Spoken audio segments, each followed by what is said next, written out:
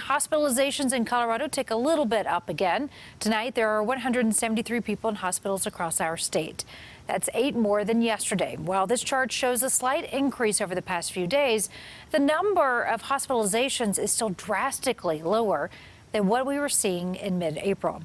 People, though, are lining up to get COVID 19 tests after the holiday weekend. But the city of Denver is now limiting testing at the state's busiest site. Sean Boyd joins us live at the Pepsi Center tonight. And Sean, the city was running out of tests last week.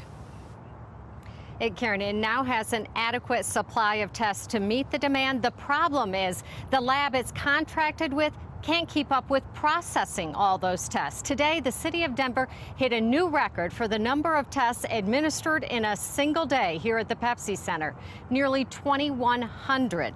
This site was closed over the holiday weekend, so some of it was pent-up demand. So many people showed up, they closed the gates at 1230. About 500 people were still in line. They waited in their cars up to an hour and a half to get a test.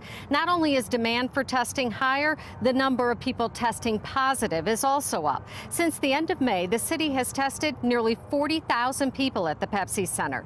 3% of them are now testing positive compared to 2% a couple weeks ago, and the rate may be higher. It's taking twice as long to get results back because of the high demand. That's why the city is now limiting the number of tests it will administer each day.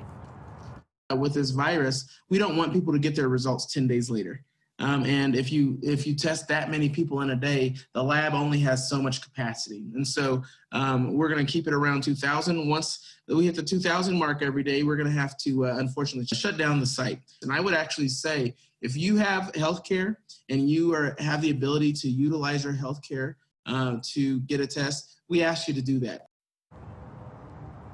And starting tomorrow, the city will be updating its website with the number of tests it's done here every half hour. So you don't drive down here and then get turned away because it's already hit that maximum of 2,000 a day.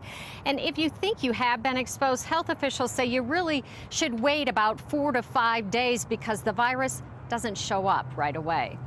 Live outside the Pepsi Center, Sean Boyd covering Colorado First. Sean, thank you.